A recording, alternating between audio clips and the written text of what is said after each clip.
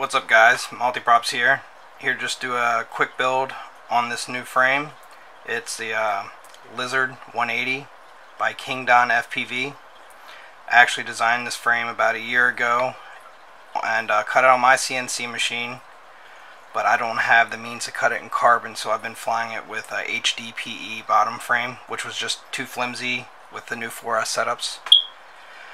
Um, so guys over at Kingdon FPV contacted me and really liked the frame and wanted to start producing it so I figured I'd just do a quick build video on it.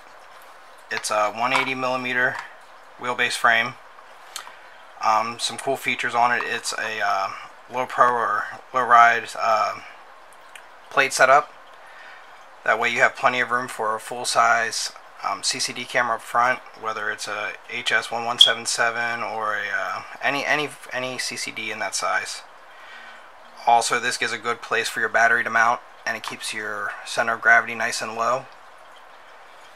Um, have cutouts here on the sides, as you can see, for uh, your battery strap to around and keep it in place. Also have a spot in the back for your uh, for your antenna to come up through if you choose to use that. And then these two little slots right here, I put those there so you can put a zip tie through there and connect your antennas from your, uh, what I like to use is FrSky. So you know you could put your zip ties on there, put your antennas on it, and shrink it. That way you get a nice, uh, nice true diversity with your antennas so they're not too close to each other. But yeah, I guess I'll go over some of the parts that we've used on the build. Um, I mostly recommend keeping 1806, 1804 size motors on this. A lot of people do like running 22 size motors. I like the 18s because it's a little lighter. That way you get a little bit better efficiency and uh, you still get great thrust on the 4S. It's, it's still more than enough for doing acro and uh, some racing. But yeah, I'll show you the parts I'm using. First off, you'll get the frame and three plates. You got the bottom plate here.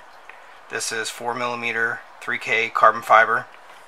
Very nice, very, very strong. Just almost no flex whatsoever in it. Um, one cool thing that I added to it was recessed holes. So there's your motor slots. Everything is recessed down so you get a nice flush finish once your motor screws are in and your standoff screws are in. Even with all the standoffs, everything is, is recessed. Alright, next piece you get will be, I guess, uh, the battery plate. Uh, this is again 3K carbon fiber, it's, uh, 1.5 millimeter. Still very, very strong. Nice quality carbon. And finally, you get your uh, your top plate. This is the one that's all the way up front that goes over top of your uh, your CCD camera. Protect that. And also, I have a little cutout here. That way, just in case you guys uh, like to run those crazy camera angles, you know, 30, 40, 45 degree camera angles, gives a little bit of room for the lens to come up through so you don't see anything in your uh, field of view. Right, moving on, I'm going to be using, uh, focus up a little bit here. I'm going to be using these 1806. I get it from uh, Paul at Ready to Fly Quads. Uh, cheap stuff, always had good luck with them. These are very nice motors, relatively cheap. I think they are $14 a piece. So you see hollow shaft, NTM bearings, very very smooth and very light. As far as a flight controller, this is, I'm just using kind of what I have laying around. This is the same one I ran on my old setup. This is just a F1 board, a Naze32 again from Paul, ready to fly quads. Good board. Um, another thing you're going to need is some wires because we're going to have to we're going to have to extend uh, the power leads to the ESC. Make sure when you get wire, if your ESC's wires aren't long enough, get something that's silicone wire, nice and soft. It really it really helps a lot. It doesn't stress and fatigue and break. Alright. Uh, next thing I'll be using is a D4R2. Again, sorry, this was in another build, so it's already been uh, the cardboard cut off of it and shrink wrapped and I have my wires here set up so I can run PPM instead of having all the wires running to the flight controller. As far as a VTX, again from Paul I got it. This is the FX799T 200 milliwatt. I've had great luck with these. Nice and cheap, very easy to use. Have a connector on the bottom to run your uh, your power in and your uh, signal and power over to your your CCD camera. Also nice features, it has this little button here, just like a lot of them out on the market now. Allows you to switch through your uh, your channels very easily. I don't know if I can get this. Uh, probably yeah, it's not going to show up. But this does run all the channels A, B, C, D, E, and uh, race channel. And all these little LEDs will light up corresponding on which one you're running. Again, very easy to use. Um, as far as a PDB for the build, I'm going to be using this uh, Blue Sky that I got off of Amazon. Uh, it was cheap. It was two of them for 10 bucks. Uh, you have all your power here. You have your XT60 connector here. Gives it a nice, nice clean solid mount to go to and it really helps clean up the builds on, on smaller quads. And this also has a 12 volt and a 5 volt out which comes in handy for grabbing power for your uh, your VTX and also for powering your flight controller. Alright, next is uh, hardware. Uh, you have options here. Uh, you can use aluminum mounts or you can keep it simple and just use your nylon standoffs. Sometimes the nylon standoffs come in handy because depending on your skill level and how tight you can build things, you can make this bottom plate taller or shorter and that way it gives you the option to cut these to whatever size you want. Um, I like it nice and low, but it does complicate the build a little bit, but it's it's really worth it in the end. Alright, uh, well next we'll move on to uh, setting up the motors and your ESC setup. I already stripped these and tinned these because I again I had these on the build already. Um, I cut the leads to about 20 millimeters, stripped a small section and tinned it with solder. And with the ESC, I went ahead and uh, cut off the heat shrink and uh, desoldered the power wires. I'm doing that because mine were already very short. Uh, if you're buying new ESCs, you shouldn't have to do that because they already should be long enough, but I'm just showing you anyway. And again, if you do have to do that, make sure you use soft silicone wire. I'm using uh, 18 gauge in this. 18 or 16 would be fine. Um, next thing is make sure you have a, a decent soldering iron. I really recommend running a wider tip, kind of like a shovel nose. That way you can distribute the, uh, the heat much faster and quicker. The idea is when you're working on these small electronics, you do not want to keep heat on there too long, so it's kind of good to go in quick and get out. I'm running my soldering iron at uh, 350, just to give you an idea what I'm using. Alright, so let's uh, start soldering these guys on.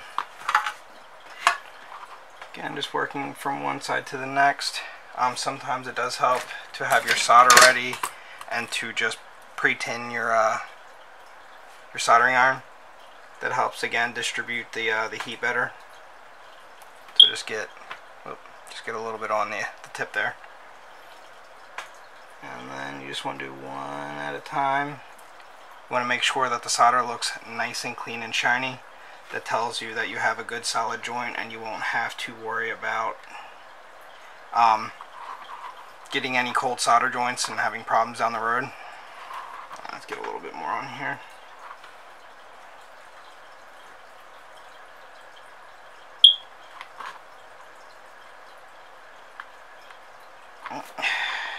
Sorry, it's a little harder to do this on camera. Alright. So as you can see, all the shiner joints, sorry, as you can see, all the joints are nice and shiny. No roughness to it, nice and smooth. Tells you that you have a nice clean joint. Uh, again, next, this is only if you need to extend your wires, or in my case, you're using older ESCs. First thing you want to do is uh, strip a little bit of the ends.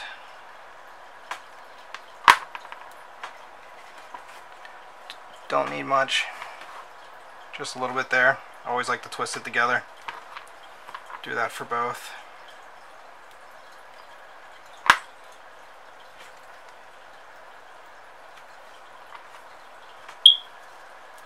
Uh, what I like to do is I get some get some solder paste and just just dip it in there and just get a little bit of solder on it. That's going to help the uh, the solder take to the ESC much better, or to the wire, sorry, much better. Let's get this set up here. And what I like to do is I'll just like to kick the solder up a little bit, apply the heat, and then just make sure it all sucks onto the wire nice and smooth, nice and clean.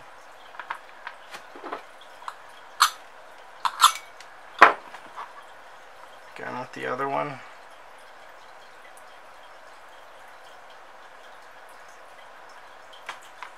Alright. That's done. Move that out of the way. You can bring back in the uh, the ESC. Oh, sorry. Two reds isn't going to help us too much.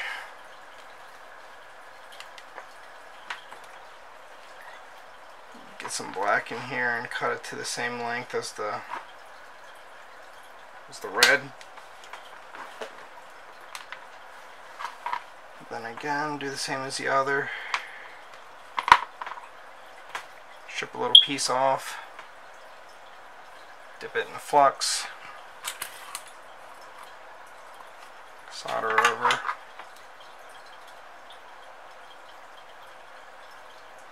make sure you got a generous amount on there.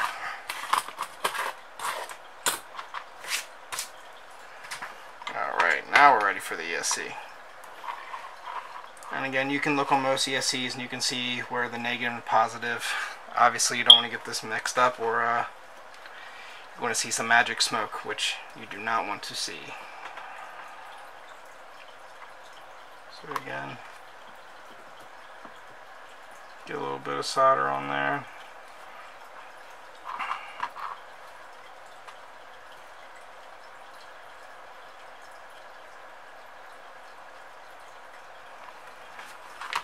Then you want to go in with the heat and come out with it as quick as you can so you don't keep that heat on that PCB board too long.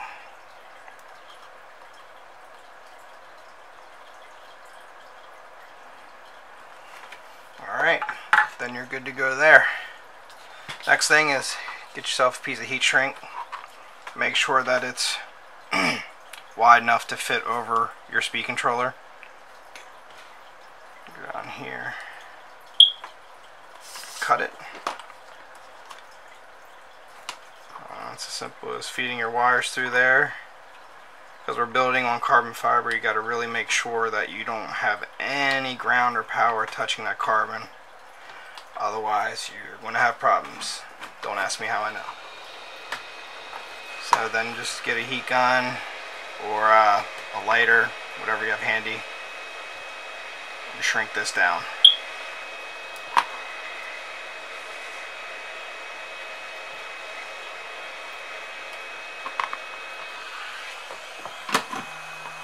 Go. I have no exposed joints. Don't have to worry about any power ground hitting the, uh, the carbon fiber frame. You want to go ahead and repeat that four more times and then we'll move on to the next step.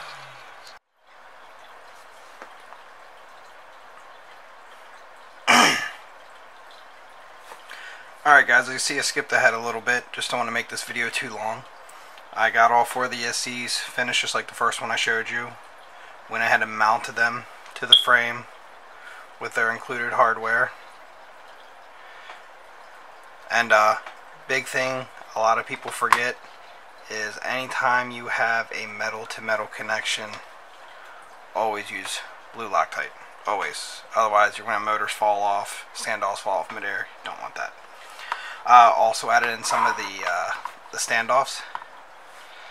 I got the uh, the shorter guys in the back and up here.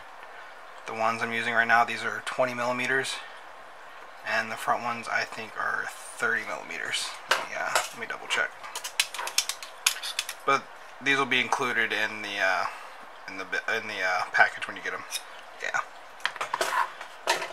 So um, I'm not sure whether they're going to be coming with aluminum standoffs or nylon. Nylon might be a bit easier, a bit lighter. Um, it's going to be easier, like I said earlier, to where you can decide what length you want these, depending on how tall or low this battery plate's going to be in the end. It's very nice with the low, but it, like I said, you have to take a few other extra steps to keep it that low. One of them being not being able to use any of the uh, the servo connections because there just won't be enough uh, room to put the plugs on the uh, the FC. All right. So next step is going to be getting your PDB mounted up, power distribution board. I went ahead, did a little bit more work on this guy. Let me focus this in. As you can see, I already pre-tinned all the, uh, the positives and the negatives, and also pre-tinned the, uh, the 12 volt out and the 5 volt out, and connected my, uh, my uh, XT60 connector. Um, because of this frame, if you see when you lay it where the holes are, it does overhang onto this arm. So what I did is I just clipped the uh, the excess uh, XT60 sticking out of here off, cleaned them up after I soldered them, and just put a little bit of electrical, um, liquid electrical tape. Alright, so next step you're going to do, you're going to get four screws. These will not be included in the kit. I am using 15 millimeter M3 screws. I'm going to go ahead and stick those through the recessed holes in the bottom.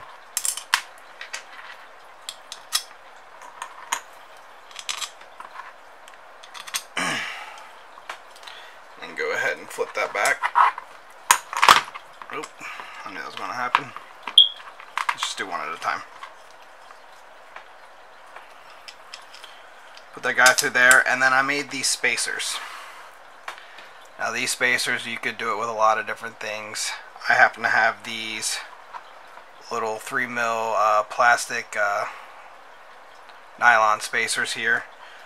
So I just cut really thin ones. I'm putting those on first because again we don't want that power distribution board to be hanging um, hanging up or sitting on top of the carbon fiber.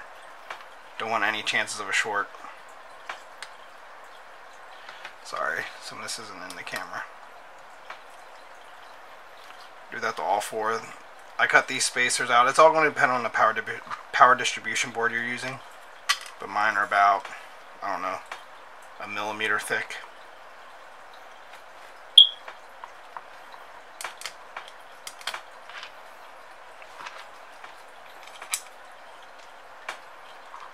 Put those guys on.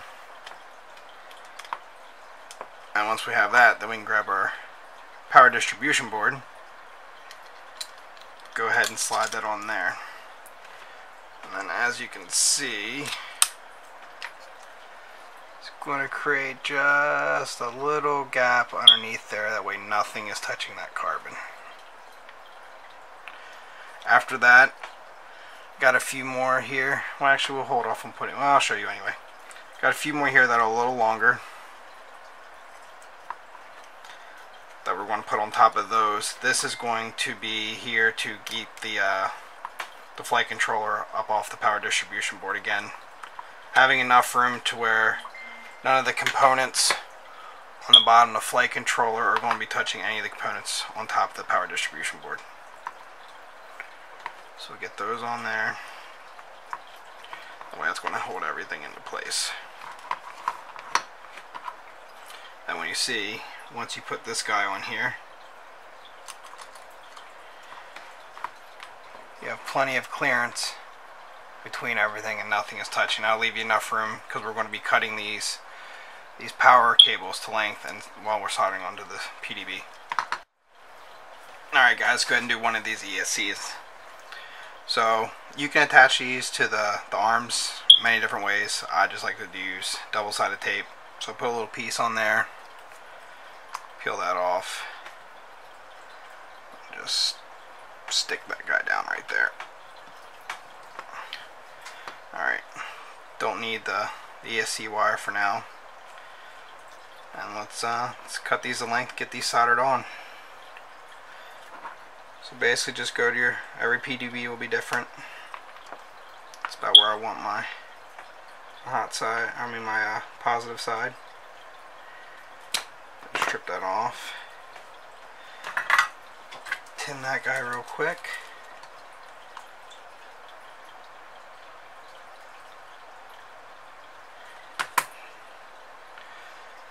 And then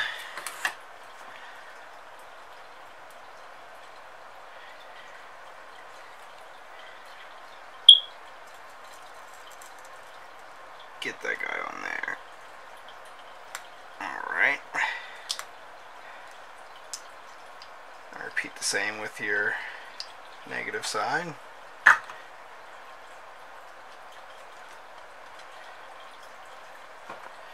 Looks good to me.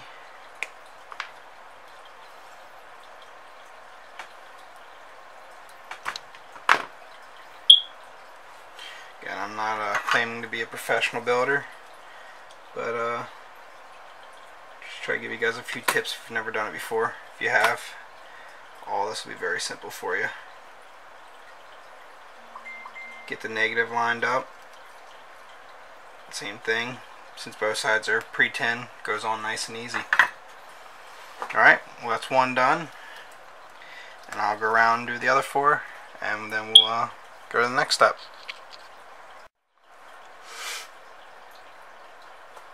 Alright, so as you can see guys, I went ahead and jumped forward a little bit because I don't want this video to be too long. ahead and finished soldering up the other three ESCs to the power distribution board like I showed you with the first one. Also connected uh, a positive negative to the 5 volt rail to supply power to our, um, to our flight controller. And the 12 volt rail I went ahead and ran out to the uh, connector for my VTX. And also installed my this is a PZ0420M camera removed from the housing and I just 3D printed a little mount here. Um, I will share the files if anybody has a 3D printer and wants to print it. Um, yeah, so I just want to skip ahead so it saves us time. Everything's all hooked up. I uh, updated my ESCs and flashed them through the BLHeli suite. So they're up to their newest firmware. And in there I also changed the rotation of the motors. That way these two front are spinning inward towards the front and the two back are spinning inwards like this towards the back end. Um, then I also updated my flight controller to the newest version of Betaflight. You can run Betaflight, Cleanflight, Race Flight, whatever you're comfortable with. Um, so that's pretty much it. Next step is I also connected my VTX to the underside of the battery plate. So what I'm going to do first just plug this plug into my VTX so that will get power. Set this guy down here and then um, have these screws right here. Again, M3. Biggest thing, I didn't mention this on the build yet, is, I think it did actually, everything use blue Loctite. Any metal on metal connection, do it. So, that's the wrong size, there it is. So I normally do is put a dab on the table, you don't need a ton dip that in there and screw it down. With these screws, a lot of people like to go crazy tight. It's really not necessary. Just get it snug. That blue Loctite will hold the screws in position.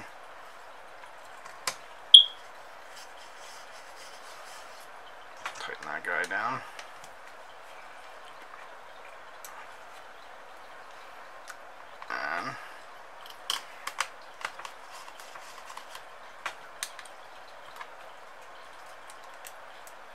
Oop.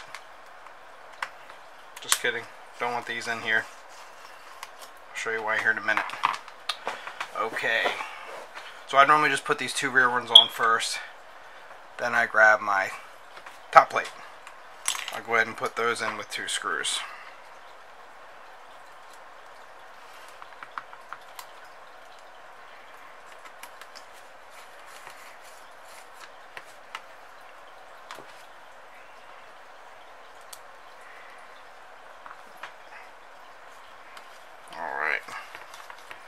So they're in place.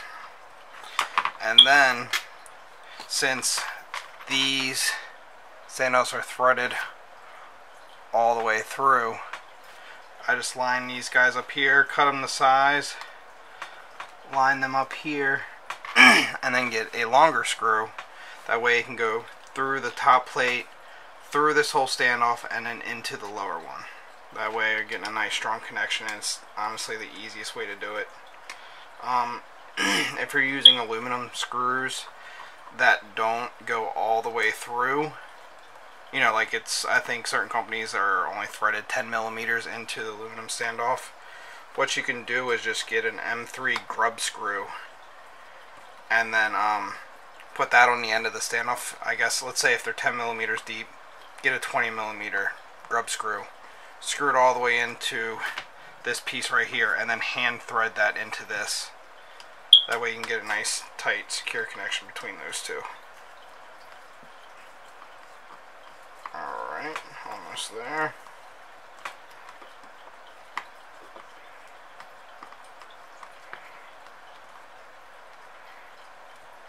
That one's all the way down. Repeat the same step for the next one. Actually really excited to fly this myself. I haven't. This will be the first time I get to fly with the new carbon fiber frame. I'm going to be able to push a little harder on 4S now because the thick 4mm bottom to should be able to really hold up to the 4S power.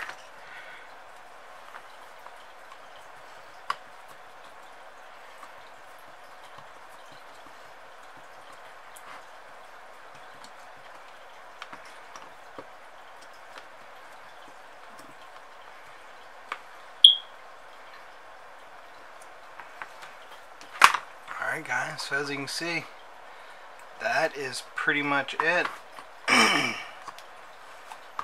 um, let me grab some zip ties real quick. Alright, and this was talking about the, the antenna mounts, so we'll go ahead and just get zip tie, put it through there.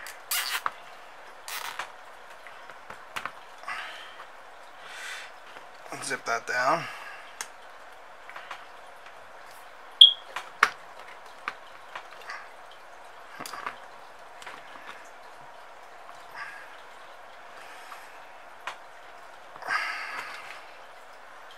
Same with the other side. Make sure you get them tight so they don't get all flippity floppity.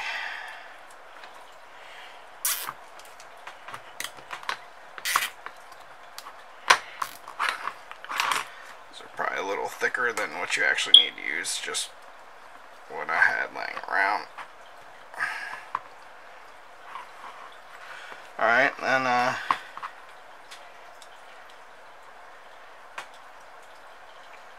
bring your antennas up.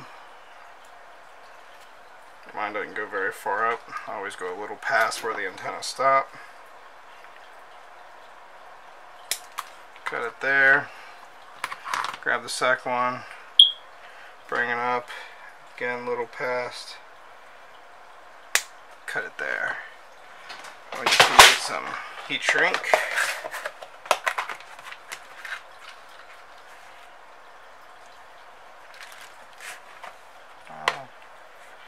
actually don't have any long heat shrink, so I'll give you an idea.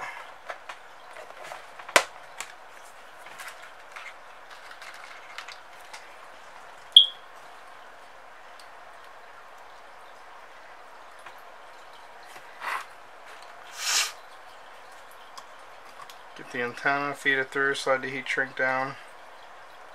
I don't have any on me, but you should be using one long piece of heat shrink. It just would be quicker and easier and just look a lot cleaner. Shrink these guys down.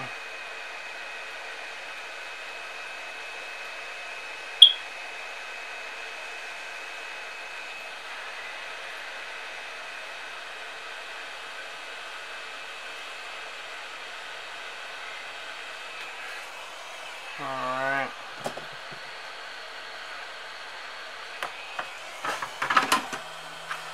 since I don't have any more, I'll double this up.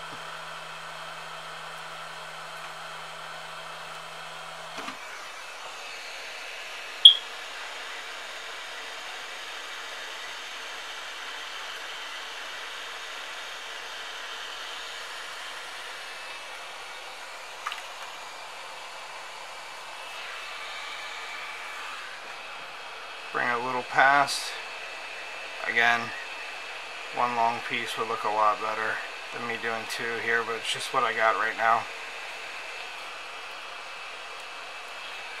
There you go. now you got the good diversity with the antennas part. Keeps them stronger, won't break. And then, alright, as far as props, um, on the old setup, I were running just some some DAL uh, 4x4 and it had pretty good performance, but got these. I want to try these out. These are the uh, DAL T4045 bullnose tri tri blades. So, go ahead and put these on, and then uh, that's what I'm going to go ahead and try. Sorry about that, guys.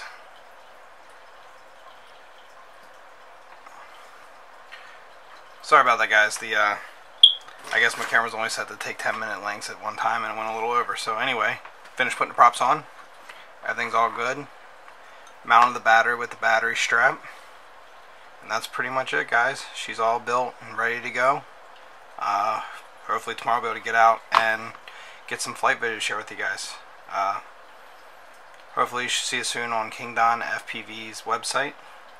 And uh, below I'll put some contact information if you have any questions you want to ask the owner about that or if any other question about this please feel free to leave a comment down below. Alright guys, keep flying and stay safe.